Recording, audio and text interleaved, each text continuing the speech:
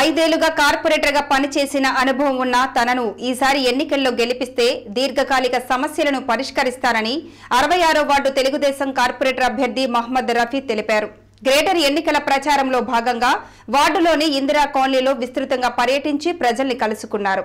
ఈ సందర్భంగా మాట్లాడుతూ అరవై మూడో వార్డుగా ఉన్నప్పుడు కోట్లాది రూపాయల నిధులతో వార్డులో అభివృద్ధి కార్యక్రమాలు చేపట్టానని తెలిపారు. ఇంటింటికి పైప్ లైన్ బీటీ రోడ్లు కల్వట్లు ముస్లిం మైనార్టీలు ఉండే ప్రాంతాల్లో అనేక పనులు చేపట్టినట్లు తెలిపారు.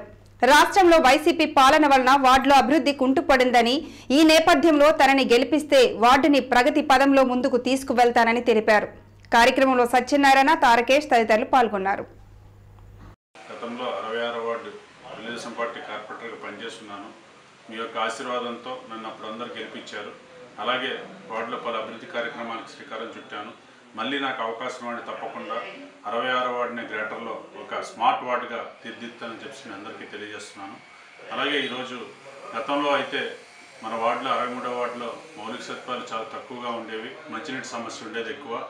అటువంటి మంచినీటి సమస్యని నేను సుమారు రెండు కోట్ల రూపాయలతో ఆ రోజు మరి మంచినీటి సమస్య తీర్చిదిద్దడానికి అనేక పైప్ లైన్లు వేసి డయా పెంచి పైప్ లైన్లు వేసి ప్రజలు రప్పించడం జరిగింది. వాటర్ పుష్కలంగా ఈరోజు అరవై అరవై మూడో వార్డులో అంటే పాత అరవై మూడో వార్డులో రావడం జరుగుతుంది. అలాగే ఆ రోజు మరి కైలాష్ నగర్లో కమ్యూనిటీ లేదంటే సుమారు రెండు కోట్ల రూపాయల విలువైన ప్రభుత్వ భూమిని కాపాడి నేను ముప్పై లక్షల రూపాయలతో కమ్యూనిటీలు కట్టించడం జరిగింది.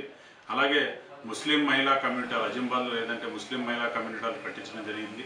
అలాగే ఇందిరా కాలనీలోని గెడ్డ ప్రాంతం వర్షాలు వస్తే చాలా ఇబ్బందికరమైన వాతావరణం ఉంటే సుమారు యాభై లక్షల రూపాయలతో గడ్డ కట్టి కట్టించడం జరిగింది. అలాగే ఏదైతే మంచినీటి బోర్లు లేవో ప్రాంతాల్లో అటువంటి ప్రాంతాల్లో యాభై బోర్ల వరకు వేయించడం జరిగింది. అలాగే విద్యుత్ ఆదిని విద్యుత్ దీపాలు ఏవైతే హైమాక్స్ లైట్స్ గతంలో ఉండేవి కాదు వార్డులోని హైమాక్స్ లైట్లు ఎనిమిది చోట్ల వేయించడం జరిగింది. అలాగే ఈటీ రోడ్స్ బీసీ రోడ్లో ఉన్న బీటీ రోడ్స్ కానీ సీసీ రోడ్స్ కానీ అలాగే సీసీ కాలువలు కానీ సుమారు ఆరు కోట్ల రూపాయలతో అనేక అభివృద్ధి కార్యక్రమాలు ఈ వార్డులో చేపట్టడం జరిగింది. అలాగే ఈరోజు చూస్తున్నాం మనం. చాలా వరకు ఇబ్బందికరమైన వాతావరణం రోడ్ల మీద నడలేని పరిస్థితి గొయ్యలు తవ్వేస్తున్నాయి అన్నీ కూడాను.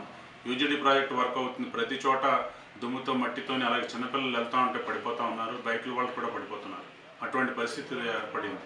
అలాగే గతంలో రేషన్ కార్డ్స్ సుమారు ఆరు వేల మందికి రేషన్ కార్డులు ఇచ్చాము. నేను గెలిచినప్పుడు నూట యాభై మందికి పెన్షన్లు ఉండేవి. ఈరోజేమో రెండు వేల మందికి పెన్షన్లు ఇచ్చాము.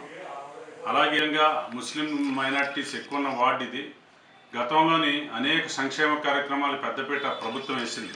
ఆ రోజు దులన్ స్కీమ్ పేద పిల్లలు పెళ్ళి చేసుకుంటానంటే యాభై వేల రూపాయలు ఇచ్చేవారు. గతంలోని రంజాన్ తోఫా ఉండేది. మాకైతే ముస్లిమ్స్కి రెండుసార్లు రంజాన్ తోఫా వచ్చేది. అంటే రంజాన్ ఒకసారి సంక్రాంతి కానుక ఒకసారి. రెండుసార్లు తోఫా ఇచ్చేవారు చంద్రబాబు నాయుడు. ముస్లిం పట్ల చాలా చురుకైన పాత్ర పోషించి ఆ రోజు ముస్లింలు ఆదుకోవాలనే ఉద్దేశంతో చేయడం జరిగింది.